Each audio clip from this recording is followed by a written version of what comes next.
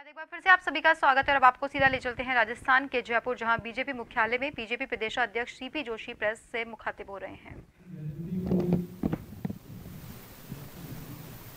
एक माह भी नहीं बीता और उन्होंने लगातार प्रदेश के हित के लिए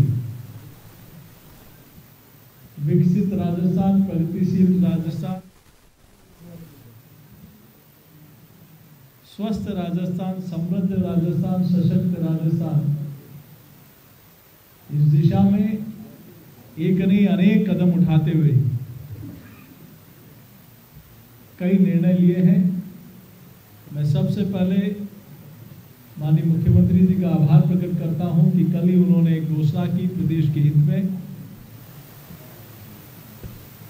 कि जनता की राय के आधार पर जो संकल्प पत्र भारतीय जनता पार्टी ने बनाया, उसको संकल्प संकल्प मानते हुए उन्होंने साढ़े चार सौ रुपये में गैस का सिलेंडर मिले। इसके लिए एक जनवरी से उनको मिलने की सारी व्यवस्था सुनिश्चित की।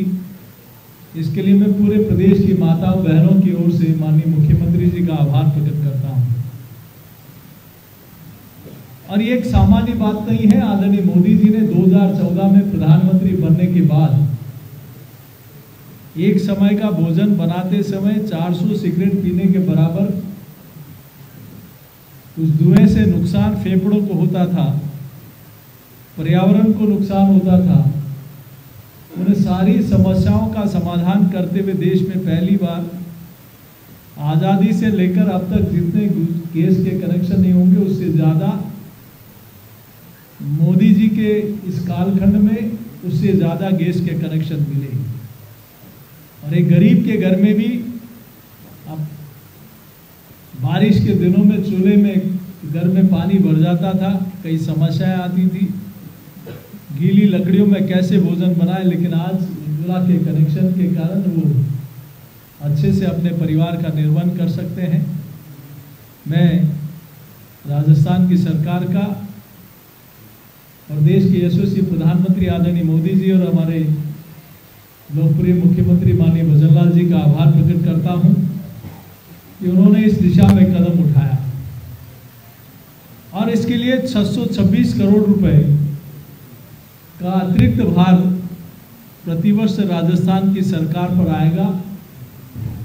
अंतर इस बात का है कि एक तरफ़ वो सरकार थी जो कालखंड के पाँच वर्ष के लिए चुनी गई, लेकिन अंतिम पाँच महीने के लिए जनता के लिए उन्होंने योजनाएँ शुरू की, लेकिन दूसरी तरफ़ वो सरकार है जो दीनदयाल जी के अंत्योदय के भाव को लेकर चलने वाली, जिन्होंने अपना मुख्यमंत्री की शपथ लेते ही एक माह भी नहीं बीता और उन्होंने इस दिशा में काम करना शुरू कर दिया।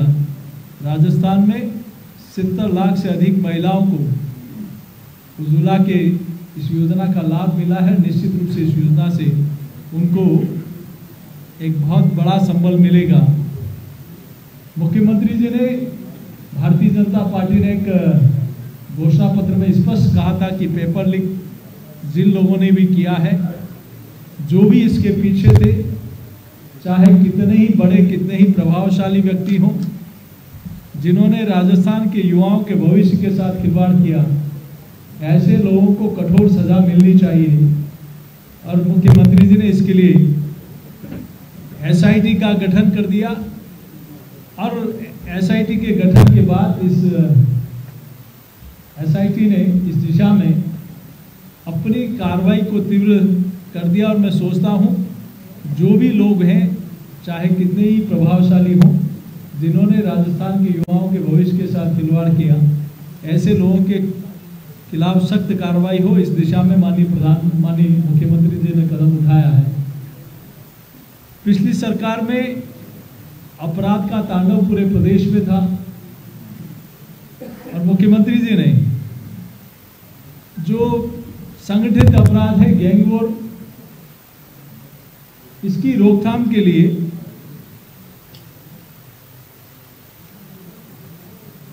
एंटी गैंगस्टर टास्क फोर्स बनाई। और एक एडीसी दिनेश एमएन जी के नेतृत्व में इसका गठन करके इस प्रकार के अपराध और अपराधियों पर,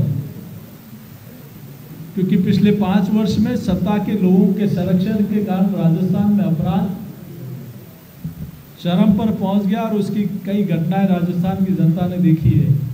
लेकिन अब ये टास्क फोर्स चाहे अपराधी कोई हो अपराधी के पीछे बड़ा किसी का भी हाथ हो। लेकिन ऐसे अपराधियों को ढूंढकर उनको सजा दिलाना, इसके लिए अपनी एक मंशा ज़ाहिर कर दी और इस दिशा में इस टास्क फोर्स ने काम करना शुरू कर दिया। आरसीपी को लेकर सिर्फ़ वादे, नारे और घोषणाएँ अभी तक राजस्थान की जनता ने देखी थी। लेकिन मोदी जी की सरकार में और यहाँ डबल इंजन की सरकार बनने के बाद, कल दिल्ली में राजस्थान और मध्य प्रदेश के अधिकारियों की एक महत्वपूर्ण बैठक हो गई।